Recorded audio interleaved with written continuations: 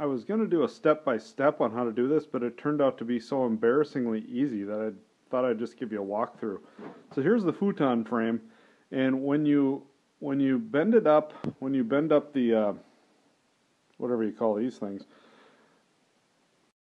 it's not going to be right in the middle. It's going to be to one side. So the trick to that is you've got two bolts down here, right, uh, right there and right there. All you need to do is take those two bolts out of each side, take this frame part off, and do a 180 and reattach it.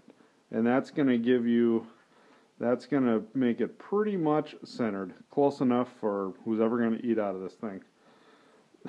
After that, it's a matter of, I got four of these U-bolts, and just cinch those down and tie it into place so it's uh, not going anywhere.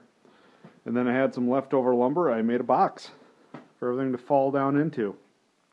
Raised a little bit off the ground with uh, some blocks down there. That is it. I spent 20 bucks on the futon frame off of Craigslist and six bucks on U-bolts and everything else I had. So it's about six, seven feet long and it's going to feed a lot of the alpacas. It'll work for goats, sheep, whatever. But uh, considerably cheaper than the last one I bought.